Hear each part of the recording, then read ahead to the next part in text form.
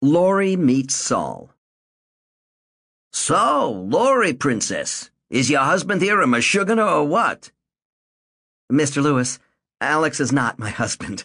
We're only 16 years old. Besides, I told you he's my best friend. He has no romantic interest in me at all. I know. That's why he's a mashugana. There are certain things on Earth that just don't mix. Oil and water come to mind. Cobras and mongooses. Lit cigarettes and barrels of dynamite. Alcohol and lawn gnomes. But if there was ever a combination that filled my heart with terror and dread, that recipe for disaster was Laurie and Sol. Of course, I was still best friends with Laurie. Ever since my hearing, she had stopped bugging me about the accident. At first, she had been trying to show sympathy because of the whole driver's license thing. Now she was just too busy enjoying my tales of misery. Every Wednesday and Friday in homeroom, she would dash up to me with a barely hidden grin and ask, How was your visit with Sol last night? So I'd tell her the highlights.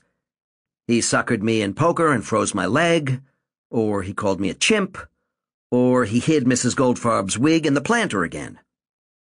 Laurie's eyes would sparkle with demented pixie dust as she said, So when can I meet this guy? What was a boy to do? For someone who always scolded me about my bad ideas, she sure was blind to her own disaster potential. Can you imagine what he'd say to her? What she'd say to him? What they would do to each other? I had visions of epic battles with remote controls, wheelchairs, Chinese throwing stars pinging off the old man's oxygen tank. But somehow, it never crossed my mind that the irresistible force and the immovable object would become fast friends.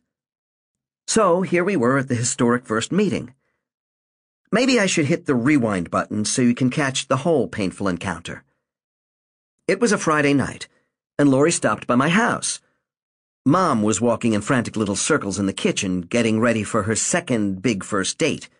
The original Mr. Wright hadn't wanted to see her again after my little vehicular adventure interrupted their evening. Mom was afraid I'd do something stupid while she was out, and Laurie saw her chance to strike. Mrs. Gregory, I have the perfect way to keep Alex out of trouble. So do I but the child welfare people think it's cruel and unusual to cage him up with a dog again. That mom of mine and her wacky child abuse humor. This might be less satisfying for you, but it's totally legal. Want to hear it? Laurie, sweetheart, could you get my top button in the back there? Okay, what's the plan? I'll take custody of the boy and bring him on the bus to the nursing home to visit Mr. Lewis. Ignoring my gasp, my dirty look, and my vicious ankle kick, she continued with her charming the parents' voice. We'll kill three birds with one stone. You will be free for the evening, and Alex won't have access to a car. Alex will get in some extra hours with Mr. Lewis and impress the probation people, and I won't have to sit home all alone because my loser best friend is grounded. Hmm, let me think for a minute. Is this necklace too clunky for the dress? No, it's nice. So what do you think of the plan? Sorry, honey, but Alex is staying put. I smiled, and it was Laurie's turn to kick my ankle. Mrs. Gregory, why don't you wear the little gold hoop earrings? They really set off your eyes. I already said no, dear. My mom picked up her tiny, fancy-looking purse thingy. I know. I just think you should be well accessorized for your big night. You have your cell phone, right? Yes, but why? Alex knows where I'll be. At the Pluto Grill on the river. Laurie gave me her sweetest and most sinister smile. Alex knows where you'll be, but the police and ambulance crews don't. Just then, a car horn beeped outside. My mom looked at Laurie. Laurie grinned at my mom. Mom snarled. Oh, take him, you rotten thing. But you will have him home by the time I get back. Then she realized this had come out sounding a tad harsh, so she gave Laurie a quick hug and muttered, Take care of him for me, okay? Mom dashed out of the door before I could mention my own vast, legendary ability to take care of myself. Laurie turned to me and said, Grab your coat, and don't get too carried away thanking me. You'll make me blush. I was too mad to say much on the bus ride, but as we got off the bus and started walking into the home, I couldn't let Laurie go in there without a warning. Even the queen of manipulation deserved some preparation before she headed into battle. So I gave her all of the tips I'd picked up. Go easy on the eye contact. Never show friendliness. Don't go out on a limb with personal information, opinions, or observations. She wanted to know what she could do. Run away home, child, was all I could come up with. Nurse Claudel came around the corner as we were emerging from the elevator, overheard the end of my speech, and clucked her tongue at me. Why are you telling tales on our Mr. Lewis? Don't listen to this one, honey. Solomon Lewis is a fine old gentleman. By the way, Alex, where have you been hiding this sweet little thing? Hi, my name is Claudel Green. I'm the charge nurse on the unit here. You must be very proud of Alex. We got him all worried about Mr. Lewis before his first visit, but he marched in there like a trooper and things have been going fine ever since. Isn't that right, Alex? I spluttered. He. You. You all said he was. Wait, she's not a sweet little thing. She's my friend Laurie. Claudel clucked again. Miss Laurie, you've got a nice boy here. If he ever learns some manners and starts telling you that you are a sweet little thing. I stomped into Sol's room just to get away from the baffling female madness. Sol was reading Hemingway this time, The Old Man and the Sea. He held up the book for me to comment, but before I could say anything, he started in.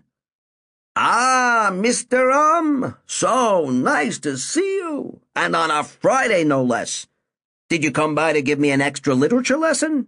Some poker advice, maybe? Then he saw Laurie over my shoulder and broke into a mammoth grin.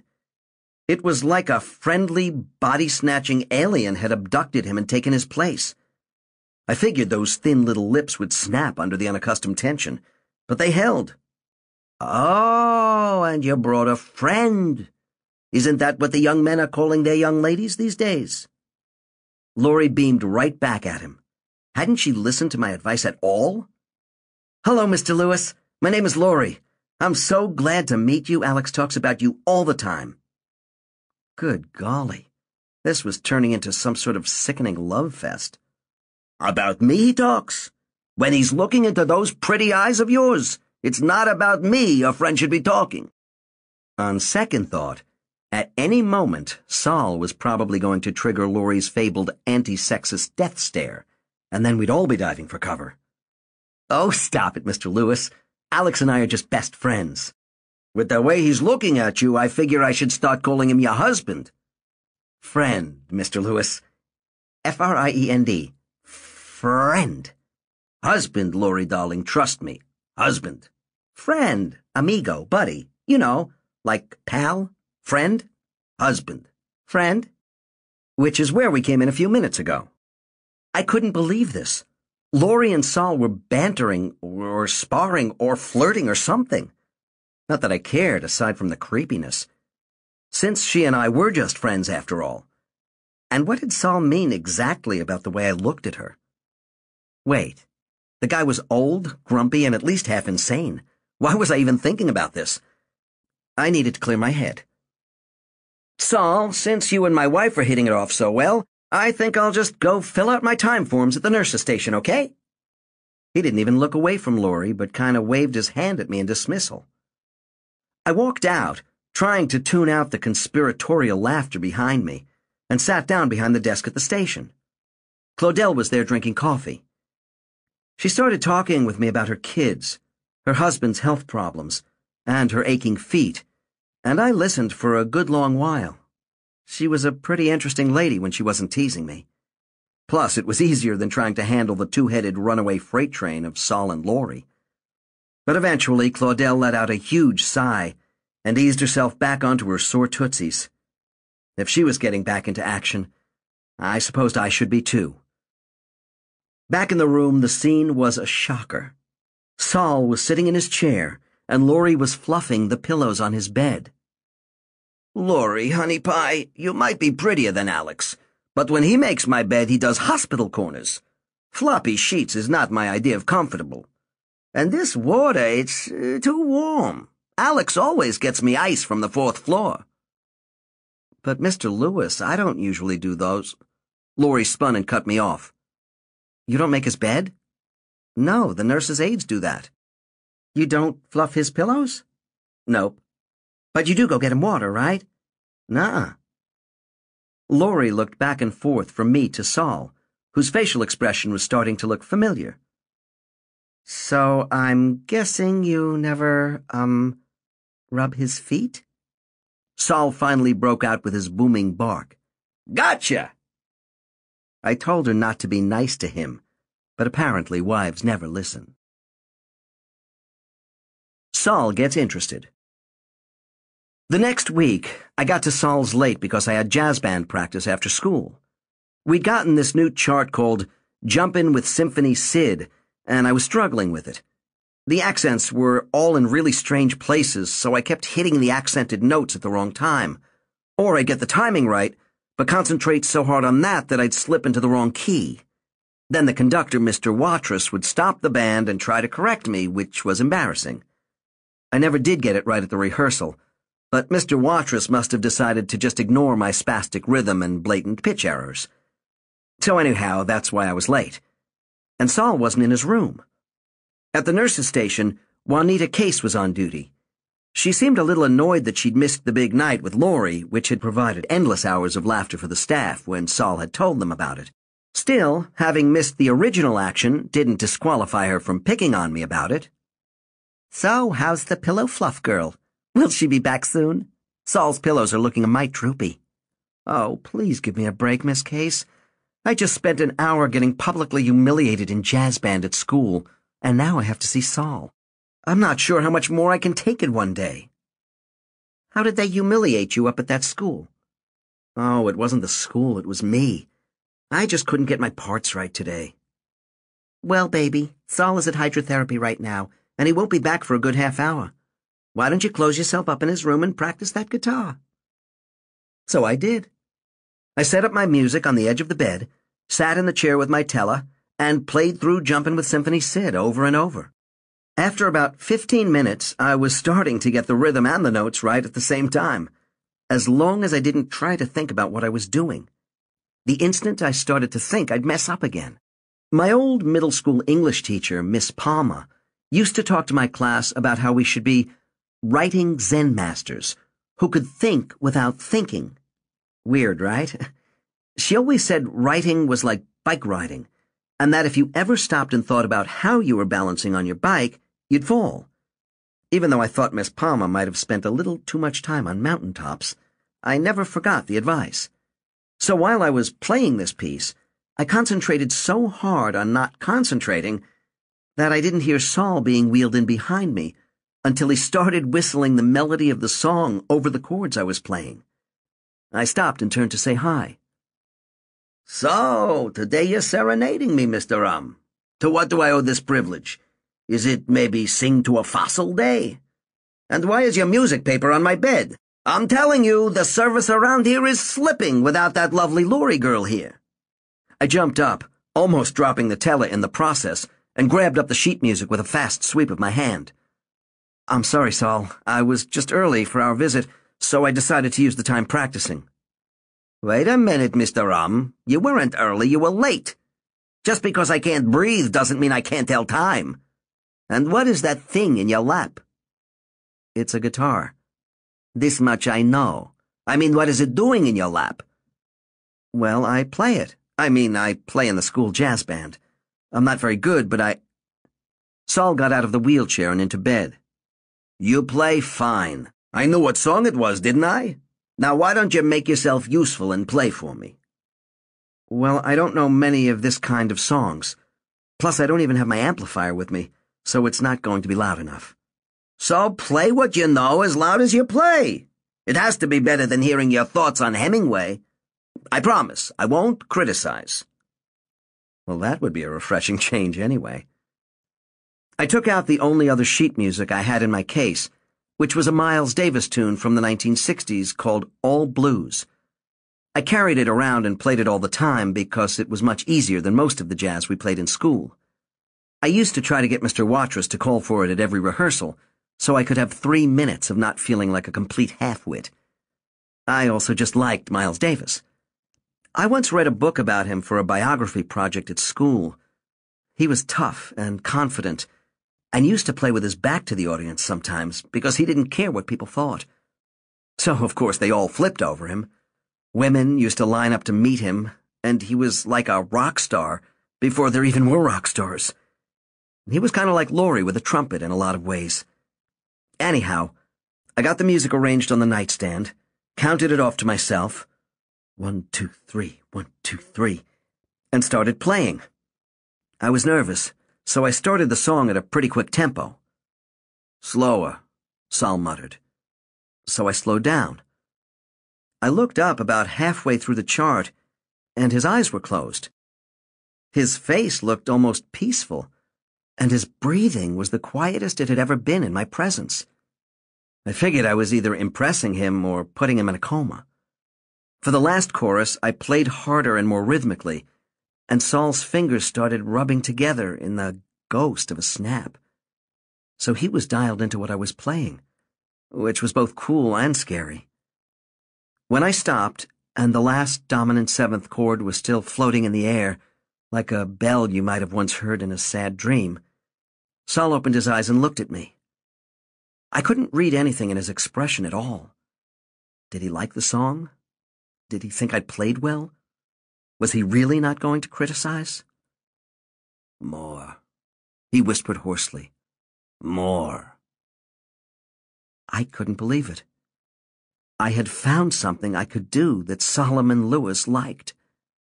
And try as I might, I couldn't see a gotcha angle anywhere. November 22nd. Dear Judge Trent, I am writing today with my first piece of positive news. As you may remember from my hearing, I play the guitar and am a member of my high school's jazz band. This week, Mr. Lewis asked me to play my guitar for him, and I did. The playing seemed to entertain him. As I was leaving for the day, Mr. Lewis even told me, If you ever want to practice more for somebody old and defenseless, feel free. I'm stuck here in bed anyway which is the kindest thing he has said to me yet. I don't know how this will allow me to learn a lesson or teach one, but at least while I'm playing the guitar, Mr. Lewis is not mocking me, swindling me, or spilling icy beverages on my innocent flesh. Thank you for your faith in me. Sincerely, Alex Gregory. Half an answer. In December, there was a serious cold snap. My mom finally ungrounded me so I could go shopping for her Christmas presents. But I spent tons of time in my basement practicing my jazz tunes for Sol. I even bought a tiny amplifier, the size of a Walkman, so I could play a little louder during my visits, even though the extra $30 added six hours to my sentence at the home. And twice a week, I dragged my Tele and the mini amp onto the bus and up to Sol's room. One day, I had just walked in when Sol asked me, Where's your little wife, Laurie? We're friends, Sol. About this, my grandmother had a saying. Achal beantwer zog erkocht epis. That means, half an answer also says something. Whatever. Do you want to hear something new I've been working on just for you? Ah, just for me, eh? Not for your tremendous worldwide audience, then? Ha ha. Do you want to hear it or not? Who says I don't want to hear it? I'm sitting here, aren't I? You're a very sensitive boy, Alex. You have to toughen up or the world will be a hard place for you. I'm not sensitive, Sol. You have no idea how strong I am. Oh, and you have an idea how strong you are. How do you know? With the easy life you kids are having nowadays. Strong schmong. Anyhow, Sol, I'm going to play now. And I played a piece I had dug out of the jazz band folder at school. I wanted to do something that Sol would know was just for him. So I found the medley from this play called Fiddler on the Roof. It's about a Jewish guy in the old country somewhere whose daughter wants to marry a guy who's not Jewish. I figured he would like to hear something a little different, and maybe he could relate to it or something. I had worked really hard on the piece because the school's music was only for the piano, and it's hard to rewrite piano music for the guitar. Actually, it was probably the most effort I had put into anything since before my dad moved out. The medley starts out with this funny song called Tradition. It's a big oompa, oompa kind of thing, and pretty fast. Then it segues into Matchmaker, Matchmaker, which is the easiest part, a fast waltz with a simple melody. Next comes another oompa part called To Life, which is the translation of a Jewish toast, L'chaim. I was pretty proud that I knew that. Sol always said it right before he swallowed his pills. Anyway, the part after that is called Sunrise Sunset. It's a song the father sings about how he can't believe his daughter is old enough to move out and get married. It's a bittersweet kind of waltz, and was really pretty when I didn't mess up the big finger stretches I had to pull off in order to play through its chord changes, which was about 40% of the time. But hey, I was trying. So, I started playing. You know how in, like, a Disney movie or something, the princess will start singing, and all the birds and bees and deer and stuff will gather around to listen? This was a lot like that. But the birds, bees, and deer had walkers, wigs, and hearing aids. Residents came in. Nurses came in. Mrs. Goldfarb almost came in, but she couldn't quite get herself to enter Sol's room, so she was just sort of leaning on the doorframe. Tradition flew by under my fingers. Matchmaker, matchmaker might have been a tad slow, but when I looked over at Sol, he was nodding in time, like he was conducting me with his fearsome eyebrow.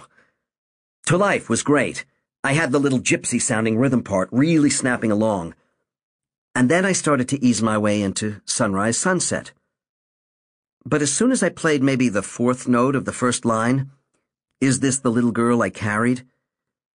I chanced to look at Sol again, and what I saw made my fingers trip and crash all into one another, like the Three Stooges had suddenly taken possession of my digits.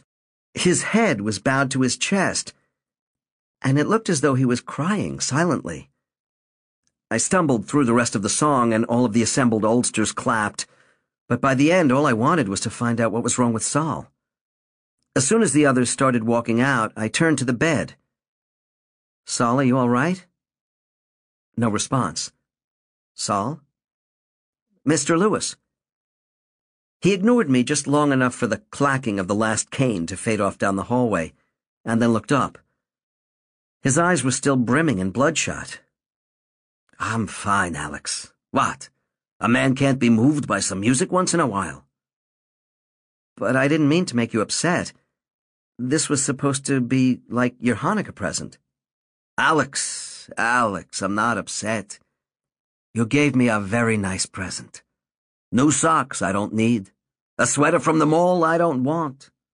Music I like. And you played all right today. I did? Don't fish for a compliment, boy chick. It's not dignified. I'm not saying you should quit your day job and head for Broadway, but you're learning something.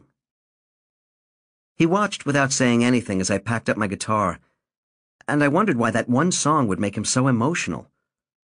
I was feeling rather brave since I had been such a big musical hit with him lately, so I asked, Sol, was there something about that sunrise song that bothered you? He smiled tightly without showing a single tooth. I didn't so much enjoy the part where you lost the time and played all the wrong notes. Other than that, I'm fine.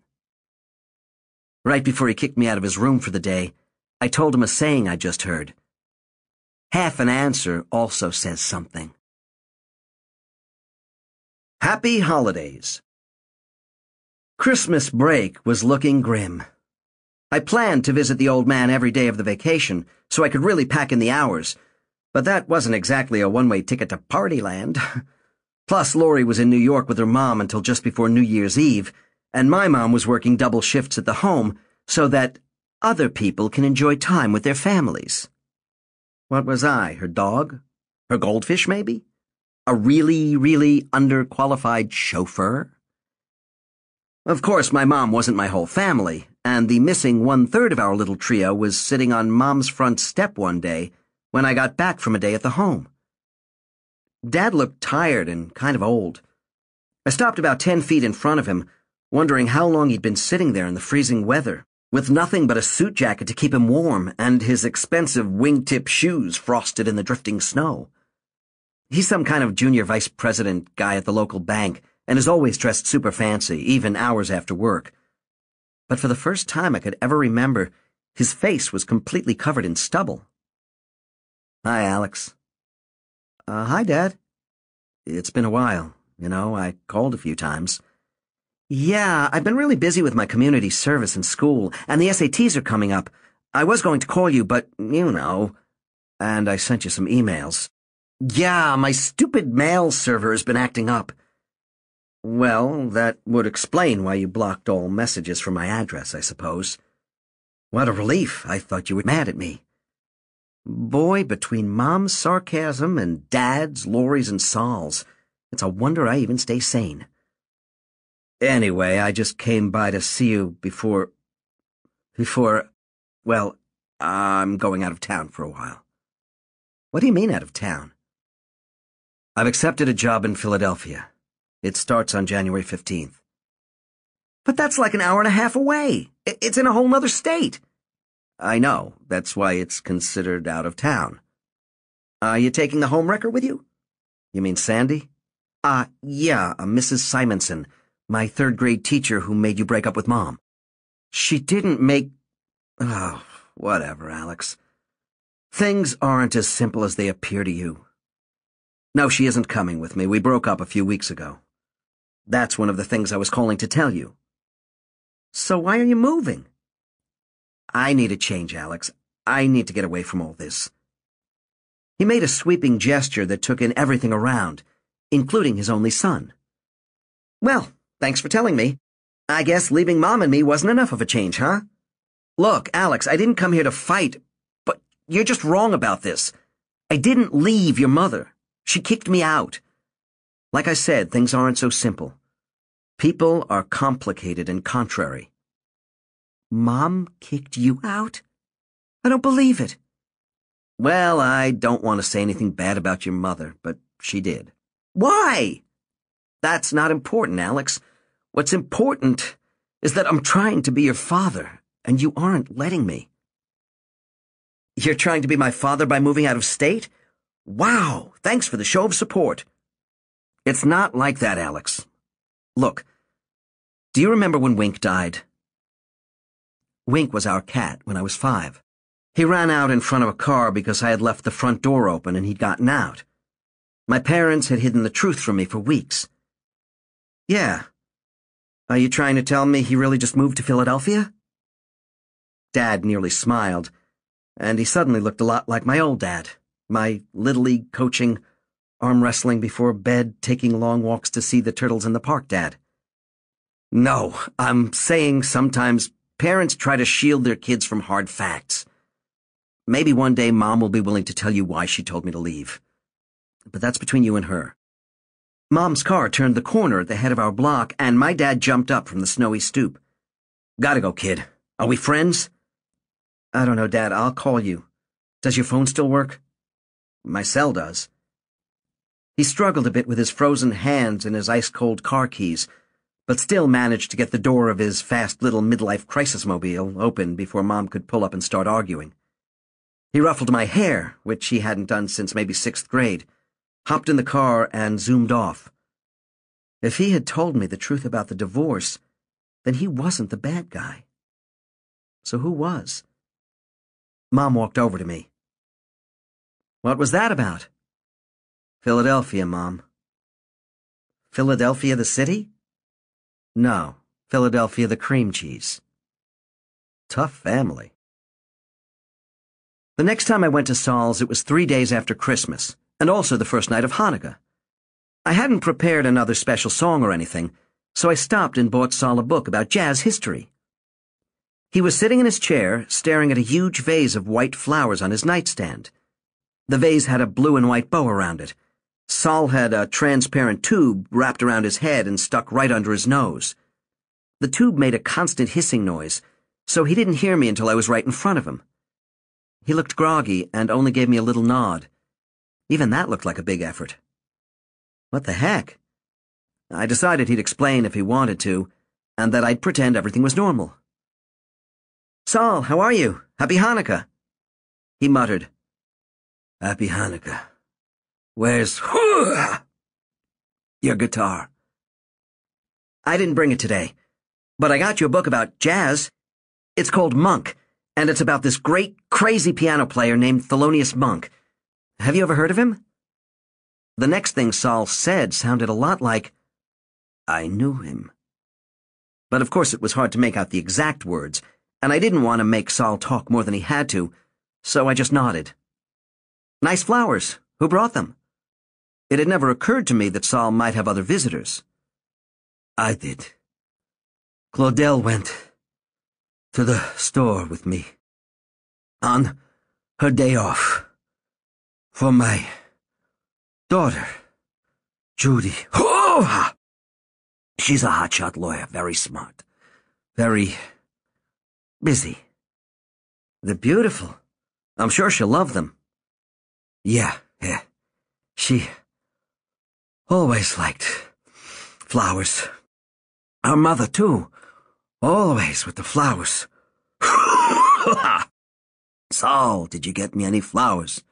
Sol, let's plant a garden. Sol, those are gorgeous.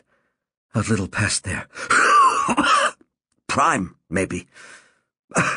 but nice. He took a few moments to catch his breath and let go of his memories, and I spoke over his gasps. Are you comfortable? Can I get you anything? Does this, to you, look so comfortable? well, I mean, what happened? Nothing. I was walking in the store with Claudel. Such a heart that girl has, like gold. Anyway, I walked too far. So now, I need a little breathing help, that's all. Can they do anything to make it better? Well, they're giving me. He touched the tube around his face. Oxygen, and breathing treatments, and some pills, I don't know. Is it working? If I'm not dead, it's working. If I die, he'll. no, it wasn't maybe working so good. I had never asked him about his health before, but now seemed like as good a time as any. They told me when I started here that you have emphysema. How long have you had it? A million years. I don't know. Boychik. Too long. How did you get it? It's funny, Alex. You smoke a million, two million cigarettes and they don't hurt you. But you take one puff of number two million and one, and all of a sudden you're in the hospital. Do you smoke? No. Good. Don't start, or I'll have to get up and give you a clap on the tuchis. He looked up at me, and his eyes were more tired than I'd ever thought eyes could be. Lesson over. Class dismissed. Now get out of here, and let an old man read in peace. I stopped at the nurse's station where Claudel was talking with Leonora. She never comes. We buy her them damn flowers every year, but she never comes. And now her daddy's all wired up in there. I heard the paramedics almost had to intubate him. Forget that. They almost had to shock him right in the middle of aisle five of Kmart. It was like he was the Blue Code Special. But he got his flowers for Judy, the big shot lawyer. A shame. He's really almost a sweet man sometimes. You got it a little mixed up, Leo. Sometimes he's sweet, and sometimes he's almost a man. They both laughed a little, and then their voices subsided as they turned their attention to me. Claudel spoke. How are you today, Alex? Is he going to die? Not today, child. Not today. He's a tough old thing, don't you worry. You'll get in your hundred hours before this is all over. This made me mad. That's not why I asked. I'm sorry, baby. I know that. Sol will be all right in a day or two, long as he doesn't get the pneumonia again, like Mrs. Johnson last spring. Who's Mrs. Johnson? I don't think I've seen her around. Both women just looked at me blankly until I realized I wasn't ever going to see Mrs. Johnson around. I had to get out of there. I mumbled something about having to catch my bus and headed for the elevator like I was getting off a sinking ship, at least for a couple of days. Not that I had been keeping count, no matter what Claudel had said. But I still had 44 hours left with Mr. Lewis. December 27th. Dear Judge Trent, I am just checking in with my December update. It was a hard month, but I think I may have learned a lesson. You can't just throw somebody out of your life when they displease you. Mr. Lewis has this daughter somewhere who's a lawyer, and every year he buys her flowers for Hanukkah. He puts them on his nightstand, and then he waits, and waits for the daughter to show up and get them. But she never does. Maybe he's so grouchy because his daughter doesn't love him. I'm getting used to his grumpiness, though. He threatened today to give me a clop on the tuchus, which I looked up and learned as a smack on the butt. However, he actually said it kind of affectionately. I know I am halfway done with my mandated hundred hours of community service, and just a few weeks ago I was counting the days with glee. However, am I allowed to keep this job past the 100 hours if I wish to do so? It just seems that Mr. Lewis could use the company more than I could use the free time, especially since I can't drive and my family is falling apart anyway. Sincerely, Alex Gregory. The ball falls. On New Year's Eve day, I messed some things up. I don't know why, because I woke up in a fine mood. My plan for the day was to practice guitar for a couple of hours and then maybe go over to see Sol after lunch. My mom had a date that night, which made two nights in a row, and Laurie was going to come over and have a little loser geek slumber party with me. When I got to the kitchen, I made a big pot of coffee and got out Mom's favorite mug which for some reason featured my first grade Mother's Day drawing of three Ninja Turtles under a tree with a huge machine gun. When I was little, I used to make coffee for both of my parents and serve it to them in bed sometimes. They would sit up, and I would climb between them with my own special coffee drink, which was really just nuked milk with sugar in it. There were days we sat there snuggled up, playing little tickle games and laughing for hours. Or at least it seemed like that to me and no matter how hot my feet got under the covers with my footy PJs on, I never, ever wanted to be the first one to leave the bed. Interestingly enough, that honor generally fell to my dad. Okay, enough of my sob stories. The thing was, I had the feeling my mom's date the night before hadn't been so ultra groovy because she had marched in at maybe 9 p.m. without saying a word to me and stomped off to bed. So I made her the pot of coffee for old time's sake or to cheer her up, or possibly just because I am just a much more swell son than you may have gathered thus far.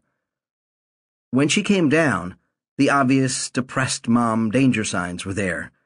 The puffy eyes, the ancient terry cloth bathrobe, even the dreaded hair curlers. This was a woman who probably needed to skip caffeine and go right into electroshock therapy.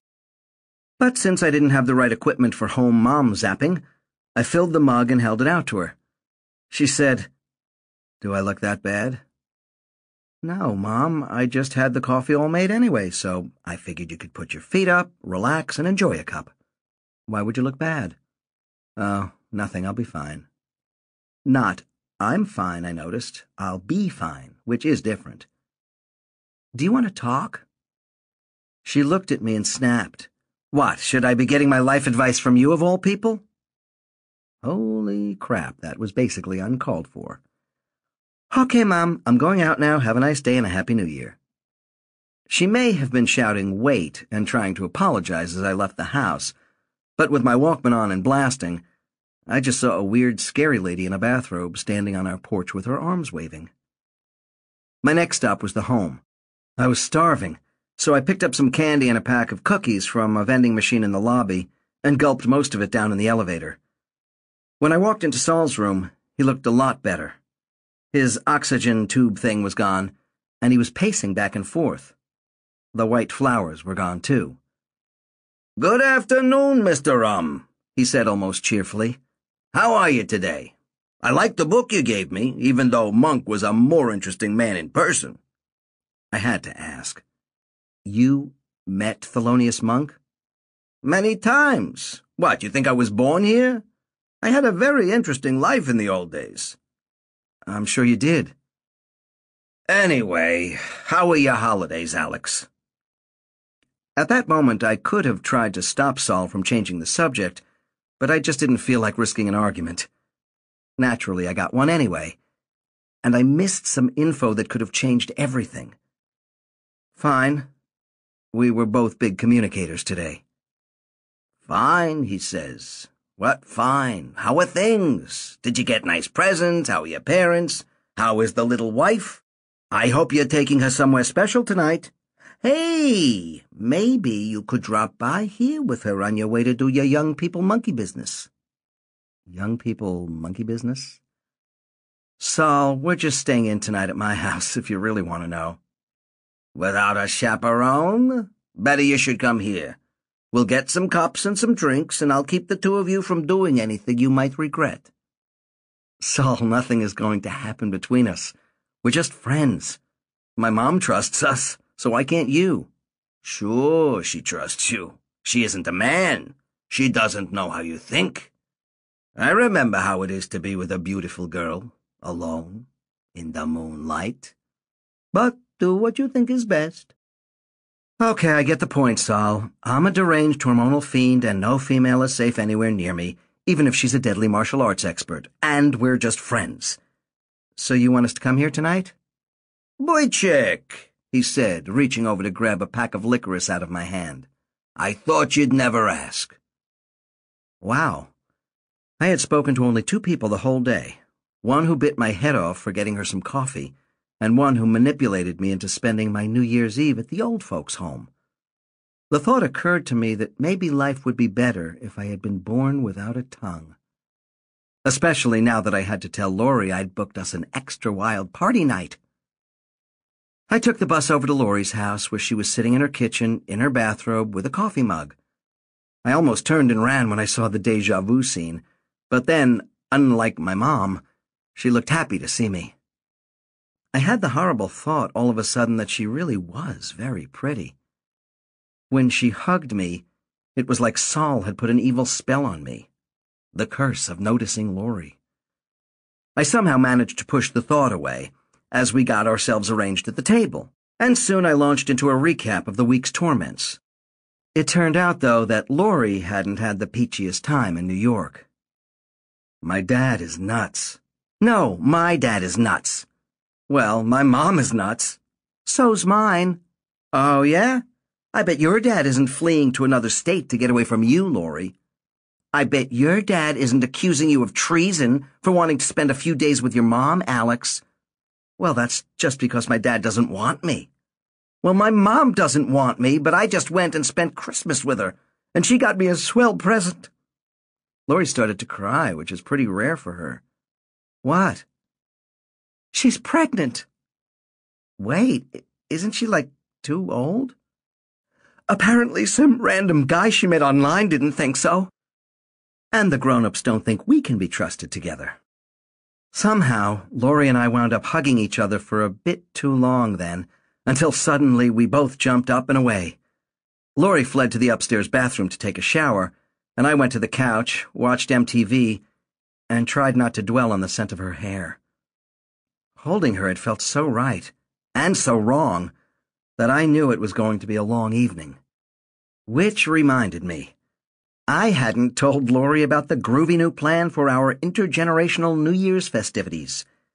Fortunately, when she came back down and I laid the news on her, she took it well. Or at least she only hit me twice and called me the Nerd King. After a couple of hours shopping for snacks to bring to the oldsters, Laurie and I stopped at my house to drop off her overnight bag. I didn't feel like facing my mom, but it turned out she wasn't home anyway. There was a note on the table. Hi, honey. I'm sorry to have snapped at you. I was upset, as you may have noticed, but everything will be fine. Also, I meant to tell you that Judge Trent called me.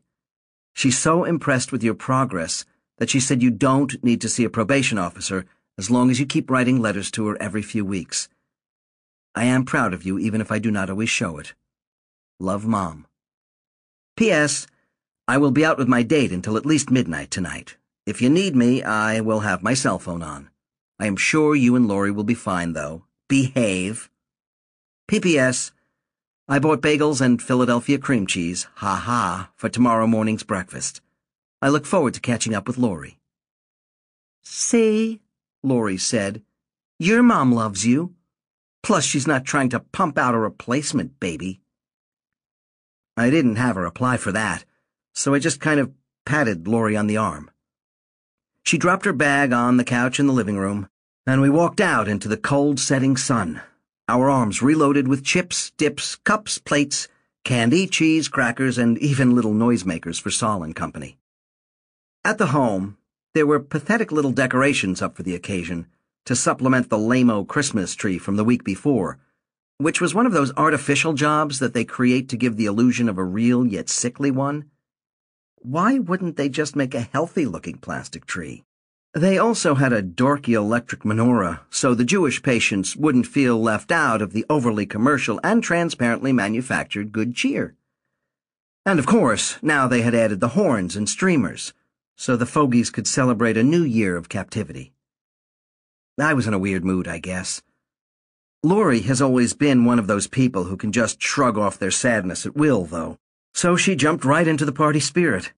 While I was gloomily filling cups with bright blue juice at the nurse's station counter, she was getting Sol up out of bed for a hug.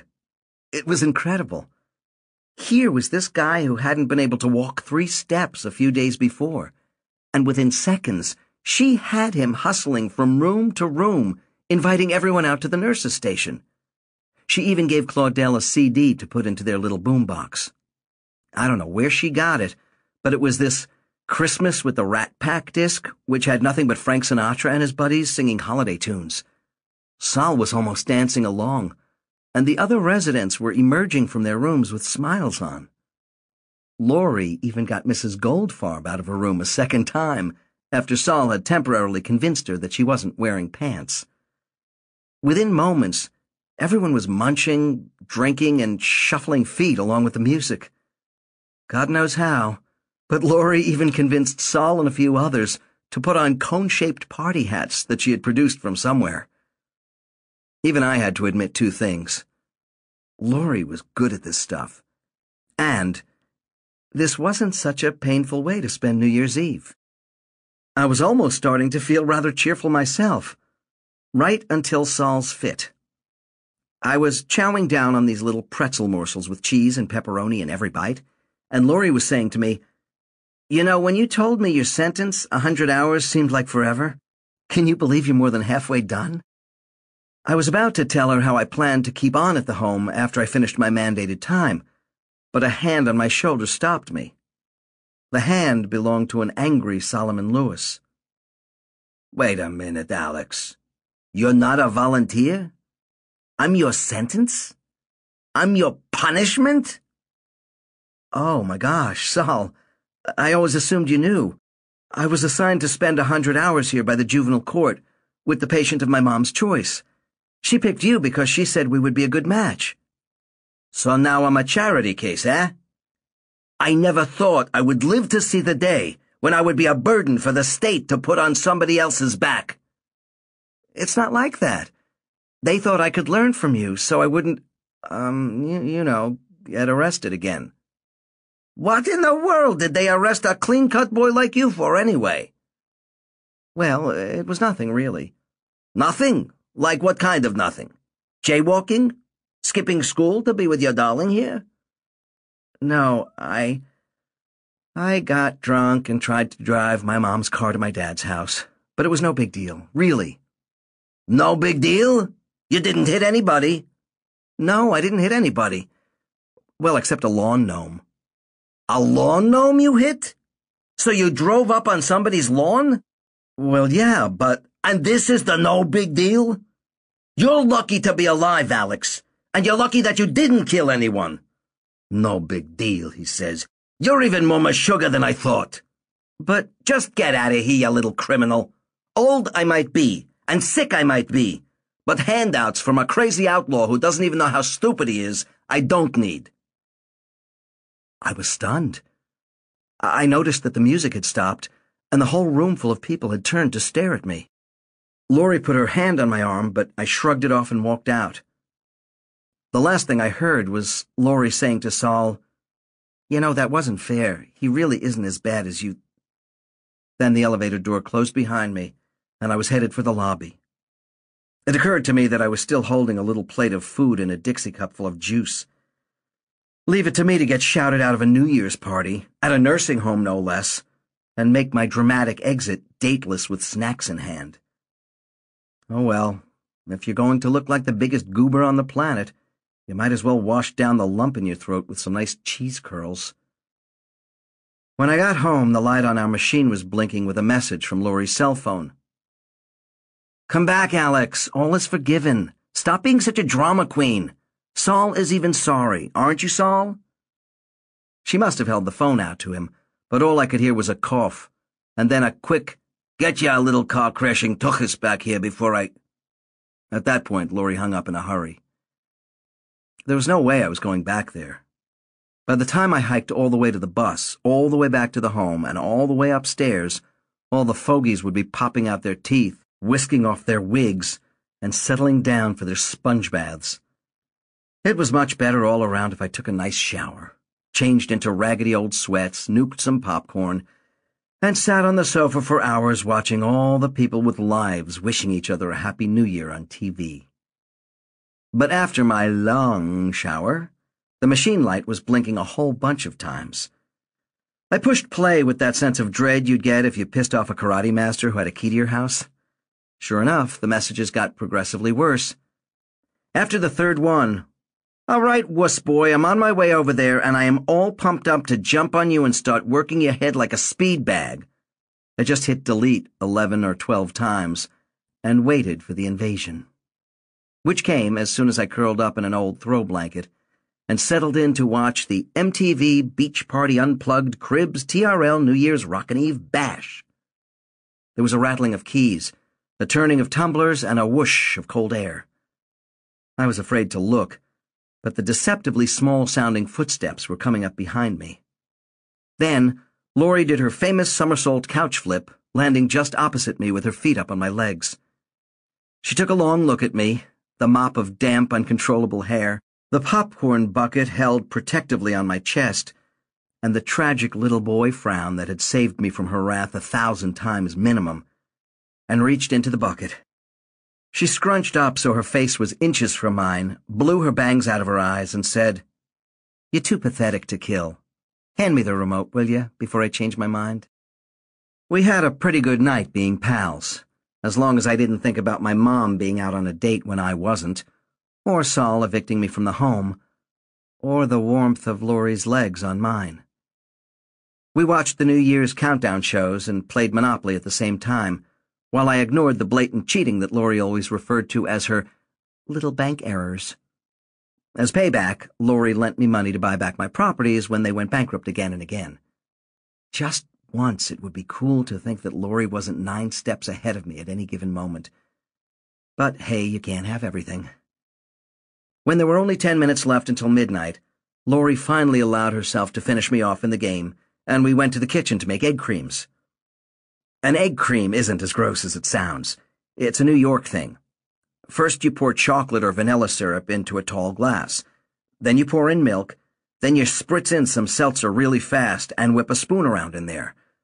What you get is essentially chocolate or vanilla milk, but with an extra zap of fizzy goodness.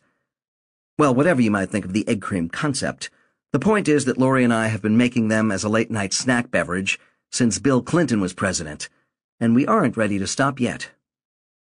By the time we were done, pouring, pouring, spritzing, stirring, sipping, and cleaning up, it was 11.59.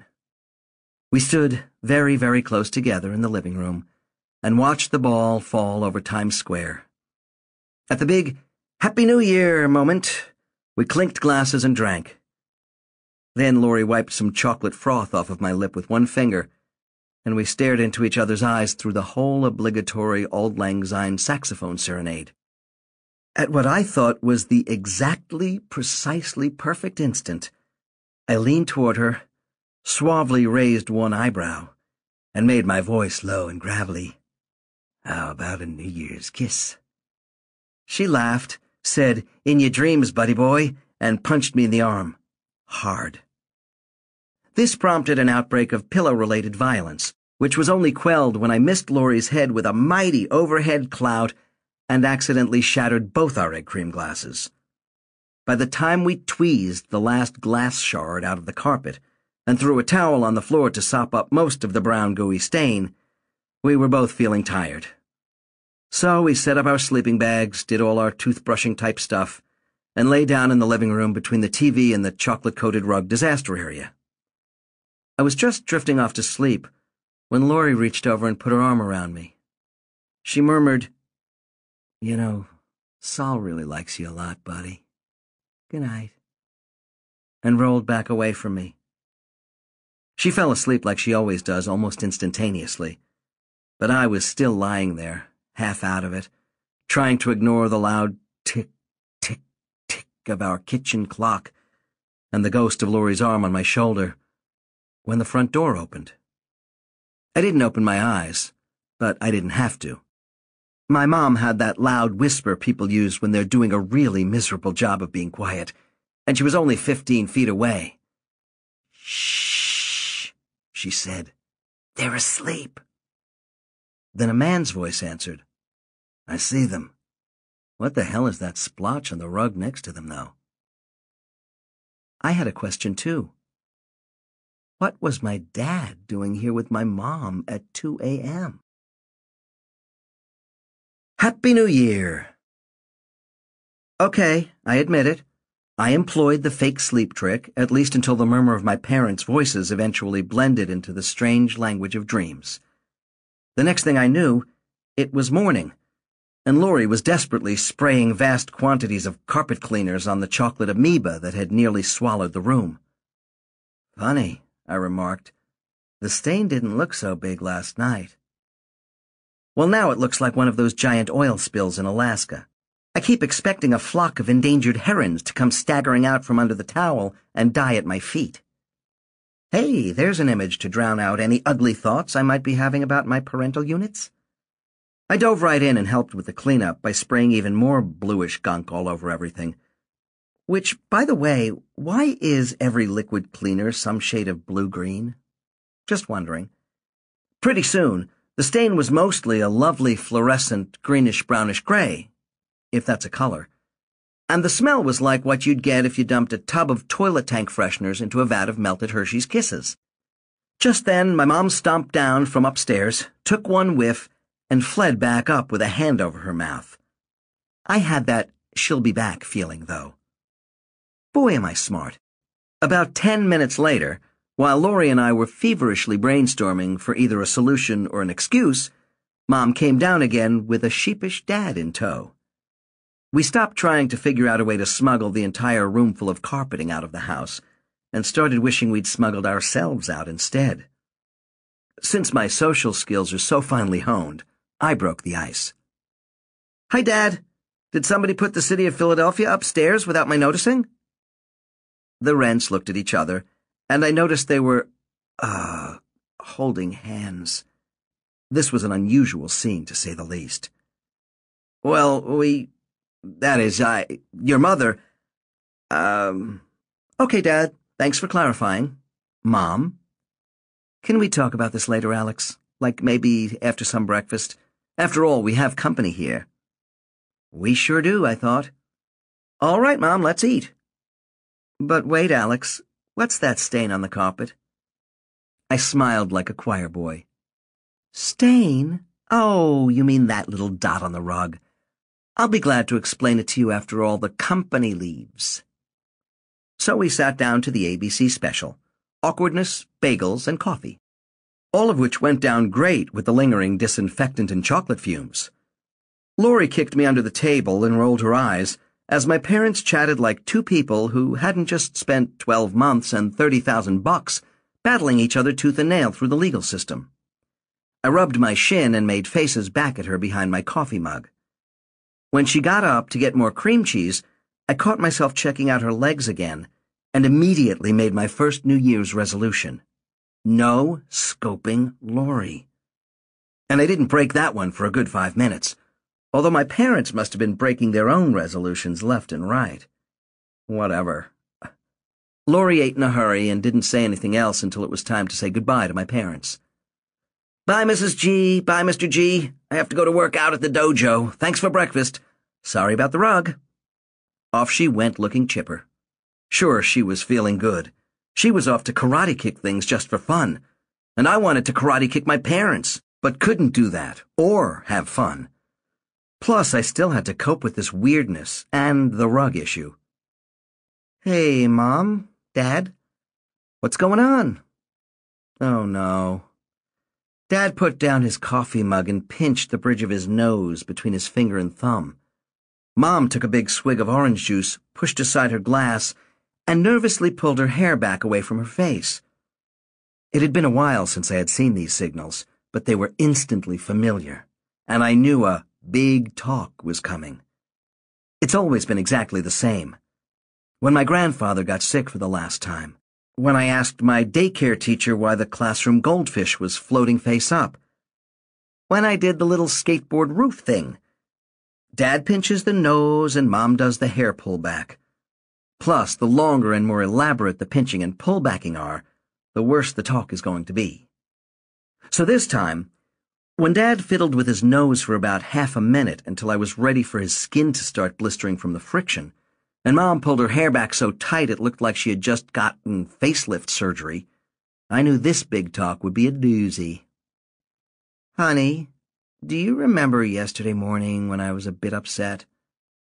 Ah, uh, Mom, do you remember the Titanic movie when the ship hit a bit of ice? Okay, fine, a lot upset. That was because your father and I had a long argument about his moving to Philadelphia. Then we agreed to have dinner and talk it over last night. There was this jazz trio playing in the corner of the restaurant, and they played our wedding song, and one thing led to another. Stop right there, Mom. I don't need to hear any more, especially when I just ate. So you're telling me Dad paid these guys to serenade you, and you took it as a sign from God that you should get back together? It wasn't like that, Alex, was it, Simon? Well... Mom took that moment to demonstrate her unique mood-switching abilities. Wait. You paid them to play that song? You set me up? Oh boy, now things felt back to normal. Yes, Janet, I did. Mom took a deep breath and held it. So did Dad. I felt an instant cold sweat bursting out all over my back. Then Mom reached over and squeezed Dad's hand on the table. Thank you, Simon. That was really sweet. Wow. A double mood switch. I give up. Maybe things were never normal in this family. But Mom never stopped trying for normalcy anyway. Now, Alex, about that stain. Enter the Cha-Kings. On January 2nd, which was a Tuesday, we went back to school. In homeroom, I was talking with Laurie about my problem with Sol, when inspiration struck me like a ham-sized fist. Well, actually, a ham-sized fist struck me like an inspiration. Or something. I got punched and inspired. Here's how it happened. Laurie, I was saying, how am I going to show up at Sol's place today? What am I supposed to say? I already told you he's not mad. That's just how he is. He blows off some steam once in a while. Oh, like you're the big expert on Solomon Lewis all of a sudden. Oh, feet-washing genius. Don't get mad at me just because you befriended an old man under false pretenses. I'm just trying to tell you things will be okay, that's all. And then came the fist, bashing into my right upper arm with 300 pounds of semi-blubbery football player behind it. Brian Gilson. Hey, lawn boy, I missed you over the break. Why didn't you come to Jody Krasloff's New Year's party? Oh, that's right, it's because you're a complete loser who's grounded for life. He sat down on the edge of my desk while I struggled desperately against the urge to rub my arm where he'd clobbered me. Anyway, I couldn't help overhearing that you got your geezer friend mad at you. Since I know you'll go to jail if you blow off your probation, and since homeroom wouldn't be the same without your sorry company, I'll give you some free advice. Laurie was never much for staying quiet. Free advice from you? You just learned to speak in sentences like last week, and Alex needs your wisdom? Anyway, he's trying to stay out of trouble, which isn't exactly your specialty. Why don't you go impress your friends by walking and chewing gum? No, really. All you have to do, Dorkwad, is make the old man feel special. You know, like bring him a gift. The severed head of a lawn gnome, maybe. I crossed my eyes and pretended to think about it for a second. Then I really did think about it for a second. Then I got an amazing idea just as the bell rang for first period. I grabbed Brian's hand and shook it profusely. That's it! You are smarter than your girlfriend told me you were last night. Thanks, Brian. I owe you one. As I ran off in triumph, Brian and Laurie were shrugging at each other, trying to figure out why I was so excited. It was like a little pixie bison bonding moment. Brian's advice had actually given me a great idea. This idea was amazing on about 17 different levels. One, it would impress the judge with my apparent selflessness and personal growth. Two, it would entertain and amuse dozens of oldsters. Three, it would make my mom think I might have some shred of redeemable goodness. Four, it was a chance to play guitar. Five. It might even shut Sol up for an hour. Okay, so it was only amazing for five reasons. Still, they were mighty big reasons. The idea was this. I would stage a benefit jazz concert at the home, with profits going toward future cultural events there. It would help people, and might even prove to Sol that he wasn't just my punishment. It was a win-win situation all around, and I knew exactly the people I would need to make it happen the Cha-Kings. These were two members of my high school jazz band. Stephen was a superhuman drummer, and his Eterna girlfriend Annette was a hellaciously gifted piano whiz. I called them the Cha-Kings after the sound that happens in a science fiction movie when two spaceships' airlocks are slammed together by the nearly irresistible force of a magnetic tractor beam. Cha-King! That's how close Stephen and Annette were. I needed the Cha-Kings for this project because of the three things they loved nearly as much as they adored each other, which were jazz, being do-gooders, and their constant quest to create the perfect benefit concert. Why were they so into benefit concerts? Well, the obvious reason was that the concerts they put on together always involved playing jazz and do-gooding. But there was more to it. Three years ago, they had fallen in love while planning and rehearsing a benefit concert to pay the hospital bills for Stephen's little brother, Jeffrey, who had cancer. Even though Annette never got to play a single note at the concert, and Stephen had to run out during intermission to take Jeffrey to the hospital, the gig was a huge success. The bills got paid, Jeffrey became the unofficial town mascot, a position he holds to this day, and of course, Stephen and Annette got each other. Really, it's so sweet I could hurl. The Cha-Kings are A students, of course. They are the most beloved couple ever to walk the halls of a high school without wearing athletic uniforms. They are jaw-droppingly good musicians, and they are very, very nice. Kind to animals, honor society officers, patron saints of the Key Club. Very, very different from the mediocre guitarist, the car-thieving lawn gnome mangler, the convicted delinquent who would now be attempting to enlist their aid. Good thing I'm so charming. Oh, who was I kidding? These people lived for benefit concerts. If Stephen's mom were choking on a chicken bone, he would start the Heimlich maneuver while Annette started designing the poster for Bone Aid. They would jump on this opportunity.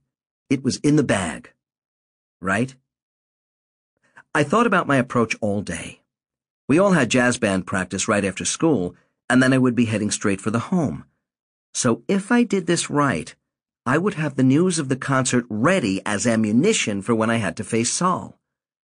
I decided to leave my last class early because Stephen and Annette had an independent study music class at the end of the day. That's how amazing these people's lives were. They had convinced an entire high school to give them a special daily period built for two. As for me, I had to practically promise my firstborn child to my pre-calc teacher just so I could miss the last eight minutes of his valuable instructional droning. So there I was, on the long hallway approaching the band room. As I got closer, I could hear the tinkling of Annette's piano, along with something else, like a clink, clink sound, but with different pitches, and beautiful. I peeked in the little square window of the door and saw Annette playing chords while this complicated single note line of clinks was floating over the top. It hit me that I knew the melody Sunrise, Sunset. Well, that was fitting. Stephen was playing the marimba, which is like a big xylophone thing with wooden bars instead of the metal kind. I hadn't even known he played anything other than drums. I hadn't even known our school had a marimba. But I guess that's why he and Annette were music gods, while I was sitting on my tuchus in math class. I poked my head in the door, feeling a bit weird about breaking in on the musical dance they had going, especially when Stephen suddenly started embellishing the melody with all sorts of fast little grace notes that I wouldn't have been able to pull off on the guitar, much less on a second instrument. Annette was talking and playing at the same time, just in case her powers hadn't already been awesome enough. Okay, Stephen, that sounds great for the melody. Now, do you think you can add in the harmony line? I was thinking, duh. How can he play extra harmony notes when he has only two mallets? But then he did this amazing thing. He picked up an extra mallet for each hand without even missing a beat and kind of spread the mallets between different fingers so now it was like he was holding upside down chopsticks or something. And sure enough, he started playing the melody and a harmony part at the same time. Finally, just when the insane skill level of these people was nearly too depressing to contemplate, he reached behind him to a xylophone that was set up there and finished his solo with one hand jamming away on each instrument. Annette and Stephen gave each other a little grin at the last note of the solo, and then in perfect unison burst into the little coda that ends the Fiddler on the Roof medley. When they stopped, I applauded. Annette turned to Stephen and said, Show off. Wait, he wasn't showing off that much. I kept waiting for him to light his mallets on fire and start juggling them during the solo, or play bass drum with his foot or something. They both just kind of stared at me like they had caught me beating a baby seal or something. I had forgotten that the Cha-Kings are serious about music. Oh well, maybe next time. More staring. Hi, guys. You're probably wondering why I'm here. I mean, why I'm here now instead of after the bell rings. I mean, instead of in math, because that's what I have now. Math, pre-calc. Um, Still more staring. Would the two of you like to help some elderly people in need? Their eyes lit up. For a babbling idiot, I'm a pretty good set.